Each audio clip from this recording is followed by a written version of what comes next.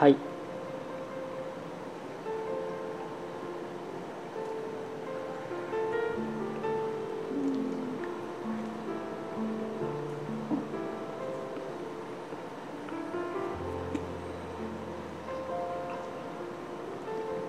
そうその辺覚えてますね。はい。あでもまあ初めよりは良くなってますので。じゃちょっとまた説明しますね。まずやっぱり字はスマートに見したいですからスマートはやっぱり頭がちょっと小さく書くといいんですねこの字は。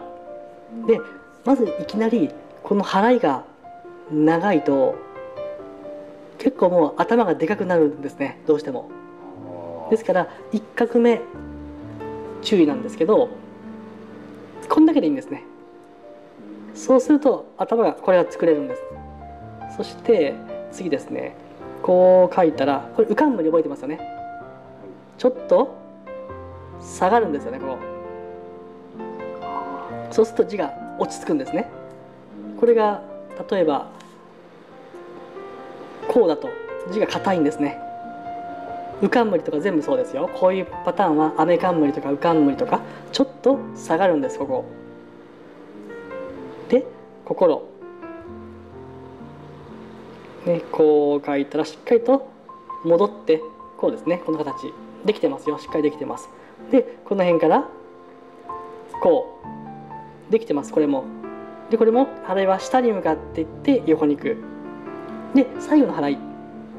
こうペンが動いてきてつながってこっからですかね。結構あの欲しいのはここに間の空間ですからこう来たらこの辺から書いて下がる。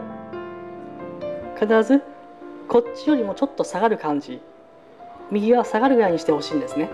そうすると字が落ち着くんです。1画目ポイントですよ。真ん中に横向きに。そうそんだけでいいんです。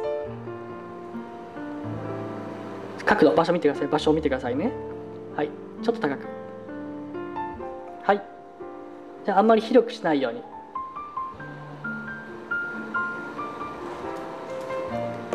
そこですよ。横線ポイントですよ。そうそうしたら落ち着くんです。じゃあ上の方から上の方を引き締めて上の方から。はい。横に行って止まって。はい。はい、うん、斜めに。はい。横に行って下からふわっていく感じ横にひねる感じ。はい。で下結構下結構下から。そそうその辺から。その辺からもっと下がる。下に下がる。止まって。払う。うまいじゃないですか。見事ですよ。こういう愛書きたいですよね。愛知県とか愛媛県とかもその県名以外ですけどね。やっぱり書きたいですね。これうまいですよ。これも書けますかね？もう一回もう一回書きますか？